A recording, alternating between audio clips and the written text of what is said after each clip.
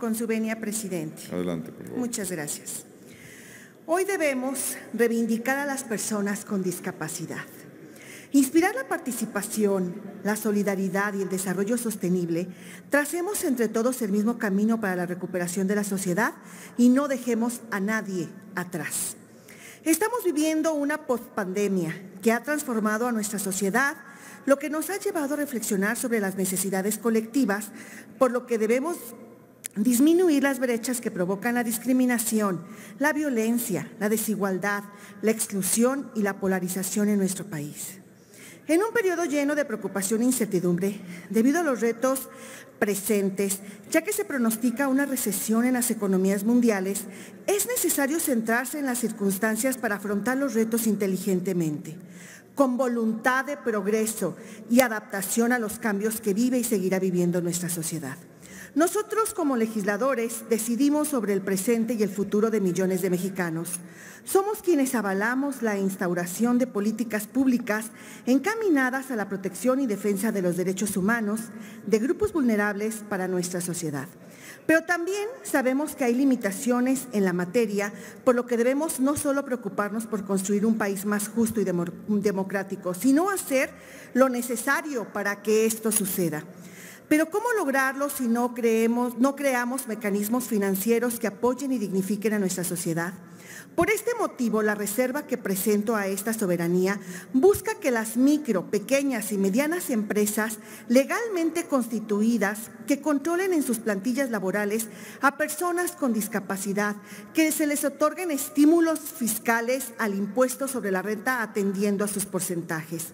En el caso de que estas empresas contraten hasta un 25% de personas con discapacidad, se les otorgará un estímulo fiscal del 5%, para un 50% un estímulo fiscal del 7%, y para aquellas que apoyen hasta un 75%, que el estímulo sea mayor, llegando hasta el 10%. Es tiempo de la cohesión social. Veamos hacia otras latitudes y nos daremos cuenta de la gran verdad. En México, el 99.8 de los establecimientos del país son micro, pequeñas o medianas empresas. Estas generan el 72% de los empleos totales y representan el 52% del Producto Interno Bruto. Y se estima que más de un millón de negocios en México, uno por cada cinco, tuvieron que cerrar definitivamente a causa de los efectos de la pandemia. A su vez, más de 6.1 millones de personas tienen algún tipo de discapacidad, con un promedio de escolaridad de entre 4.7 años y esto se ve reflejado en su tasa de participación económica, ya que solo el 30% de este grupo de la población tiene empleo. La tasa para las mujeres es mucho más baja. Solo el 18% participa en el mercado laboral, frente al 42.3% de hombres con discapacidad y el 35.5% de sus homólogas sin discapacidad. Los datos son relevantes para la realidad que impera.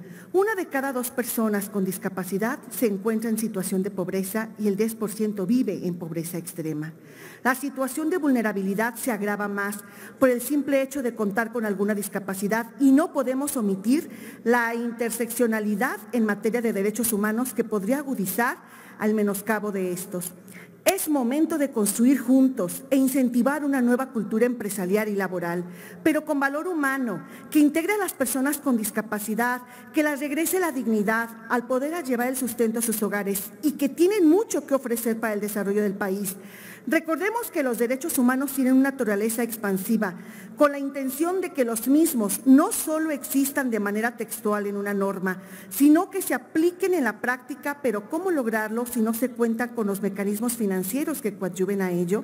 Lo seguiremos repitiendo. En la bancada naranja, el presente y el futuro de las micro, pequeñas y medianas empresas y de las personas con discapacidad siempre estarán al centro, porque sus causas van al frente. Es cuanto.